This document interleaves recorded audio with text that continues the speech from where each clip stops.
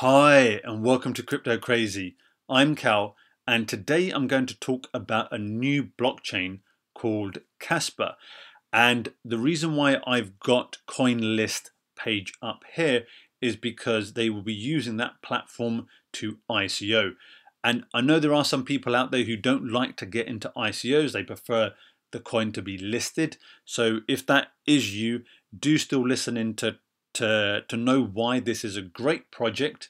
Uh, the blockchain, I think, will be doing some great things and it will continue to grow from where it starts off. So let me just quickly just run through with you what the options are before I get into the detail of what Casper is, how it was created, and why I think it's going to be a great project as well. So if you do go onto the CoinList page, and I'll, I'll add this in to the description for this video, what you have is three different sale options. They've got the, the dates when they're available, the different amounts you're able to invest, and the price you get it at as well. So if you do, if you are interested in the ICO, you can do that. So let's get into what Casper is about. So a couple of years ago, there was an issue with the Ethereum blockchain. So to to resolve this, there were there were two options that were brought about, and Ethereum has always been a proof of work. One of the solutions was a proof of stake option, and this was for the ghost problem. Um, and one of the the the solutions was called Casper FFG, as you can see here on the screen, and the other one was called Casper CBC. Now, the CBC version was uh, created, the solution was created by someone called Vlad Zamfir, and he was one of the early developers for Ethereum. So the the community, the developers collectively with Vitalik opted for the FFG solution, and it still continues to be a proof of work for Ethereum, but they do want to move to proof of stake. Now, that solution, the CBC Casper solution, was very much designed to move straight away to a proof of stake, and many thought that it was the solution for Ethereum. Now, considering that Ethereum didn't use that, what happened was a new blockchain was created. They created their own virtual machine and they created a, a blockchain which was on the basis of this Casper CBC idea. And you had the lead architect as Vlad Zamfir, who had created this. So I'll also add this article as well, which talks about what is Casper. Uh, it talks about how it works. It also talks about Casper for Ethereum too, because you may have heard it in that context. And that is very much about the FFG, the, the upgrade within it. However, Ethereum will be moving to what Casper is doing. So Casper is already in the proof of stake. And that is one thing that very much helps it with not only being decentralized, but having the security, but more importantly, the scalability. And that's what's really held Ethereum back. The fact that it's been struggling to overcome the scalability issue. So here it's talking about the advantages of Casper and looking at both of them side by side and not taking into consideration that Ethereum started uh, a long time ago and, and the fact that it has a big community, a big developing developer community, and that it has a lot of partnerships with a lot of companies and organizations. But if you just look at the technology side by side, Casper is the one which is probably more enhanced. No, it's actually it's definitely more enhanced. In actual fact, Ethereum will be using what Casper does to to lead its way to get to the same type of level. So it, it talks very much about that being the advantage of Casper. Here it talks about that developers are still discussing the possibility of 51% attacks. Now, with 51% attacks in the proof of work element, if the mining is done by more than 51%, then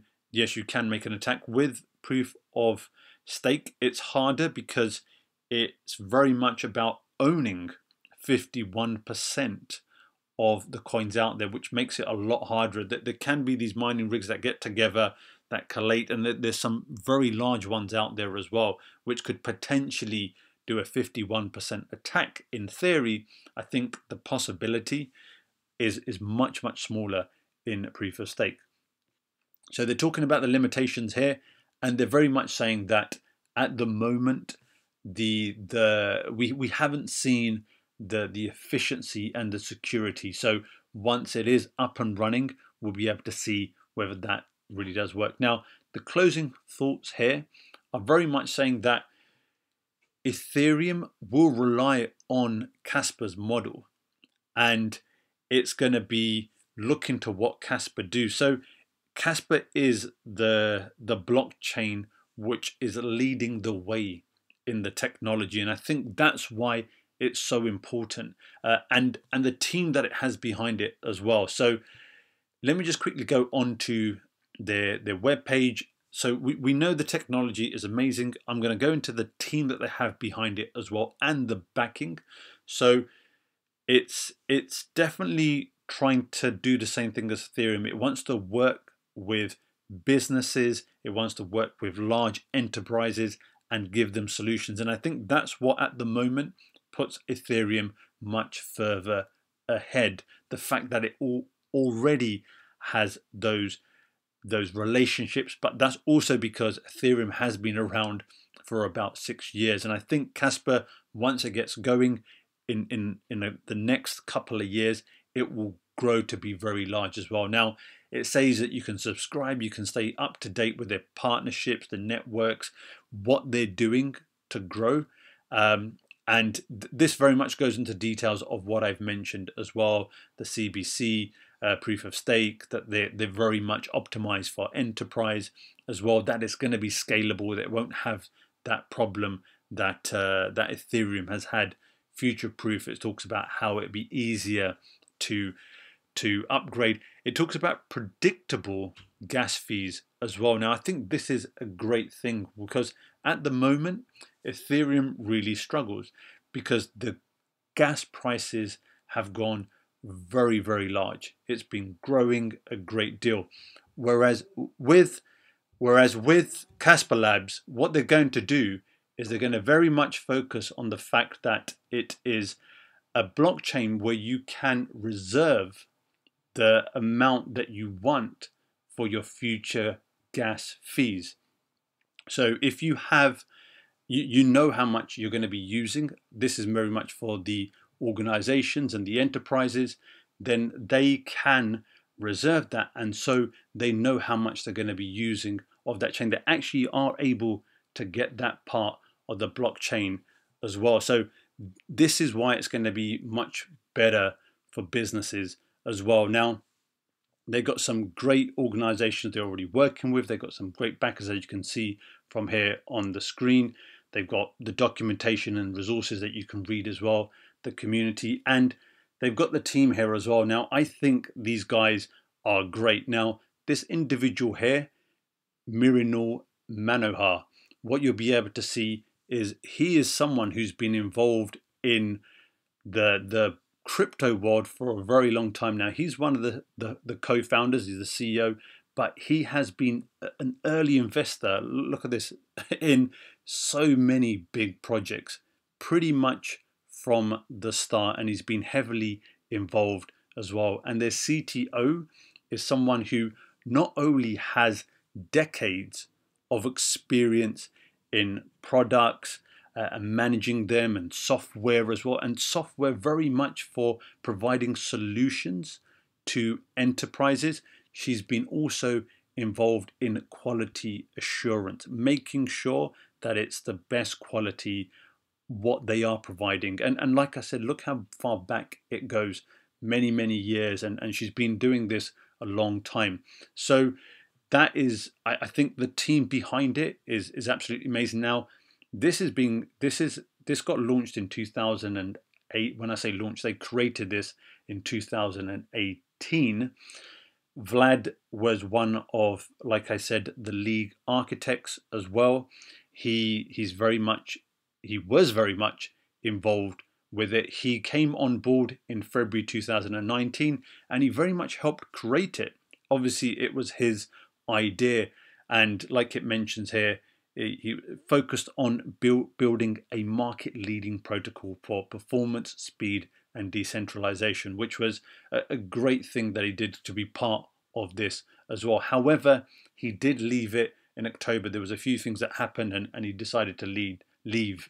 Now, he also did tweet at the time as well. I don't lead and and have never led Casper Labs, but I think there was a lot of people that thought it was his project, and and he wanted to clarify the fact that he was just on board with it. One thing that I did see today, which I do want to bring to you, because I don't want to say, look, you know, it's all great. This this it's always good to have a balanced view. Now, he Vlad Zamfir is saying, well, he's trying to sue Casper Labs. Now, this is very interesting to me because I'm, I'm trying to kind of understand as to why he is doing that. So here it talks about that he was involved with it, that uh, you know it, has got a lot of backing. It's got a lot of uh, people who who were using their capital within Casper Labs. But Vlad is saying that they were misleading investors. Now it doesn't say with what detail. So he's talking about the fact that at the moment they're doing their ICO, but he's saying that Casper is being used within their documentation to mislead Casper Labs. Now, it may well be the the fact that it's something that he is maybe disgruntled with. I don't know. I don't know the details, but it says here Casper Labs disputes his claim that he's and and the the lawsuit that he has filed. So I don't think, like it says here, they're not going to shy away from this litigation. Casper Labs is is an organization that has been set up very very well. They've tried very hard and have done so in terms of making sure that they stay within the regulations. They they made sure that the ICO is only for those individuals who fit into the regulations as well. So it's something to be aware of, and I'll certainly be having a look at how it develops. But I think at the moment it doesn't take away from what this amazing uh, project is. So there you have it. That is very much Casper. Uh, like I said, you can. I, I would definitely recommend reading more of it. I will add in the links in the description. I think it's a great project just to give you uh, an understanding of what sort of price these are available at and, and the, the size that it could potentially get to. So if you if you were to buy at this price, it's um, it's valuing the the whole project at 210 million, which is you might think uh, that's eight percent of it, which is you might think is a considerable amount. If it's at this price, which is double the option one, this is option three here, as you can see there, that is obviously double the, the value, so not 210, but instead of 420. Now, you may say 420 million, that is a very, very large price, but for what this project is, I think in the long term, and there are lockup periods for uh, some of those options as well, but in the long term, I think this is something that can grow much, much bigger. I mean, going from even, let's say, 400 million to, to 40 billion, uh, getting up there with where at where we see now Cardano and Polkadot. I mean, Polkadot we we have seen absolutely explode in the space of just over half a year. Now, I think Casper over the next couple of years will grow to be very, very big and very, very large. And, and like I said, even if you don't want to get involved in the ICO, once it does get listed, you'll have this on your radar. You'll know what it's about. You know why it's a good project, or why I believe, in my opinion, it's a good project. And you can make a decision for yourself as to when you want to get into it and whether it's one for you as well. But for me, it's very much bringing you information not only about new coins, coins that haven't even listed like Casper, news, views, uh, all sort of range of information that can help you understand the crypto world and buying cryptocurrencies a lot better as well. Like I always say, it's very much what is your strategy. People have different strategies. So I, I'm for me, it's very much to bring you the information and my opinion to, and for you to then take that on board and, and decide what you would like to do with it. So there you have it. That's Casper, bought by Casper Labs. Hope hope you found that useful, informative. As always, if you have, please do give me a like. It does help the channel. Please do subscribe for more videos like this.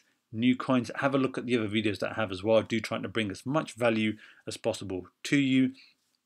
And uh, yeah, if, if you have enjoyed it, please do subscribe. I've been Cal. This is Crypto Crazy, and I'll see you in the next one. Bye.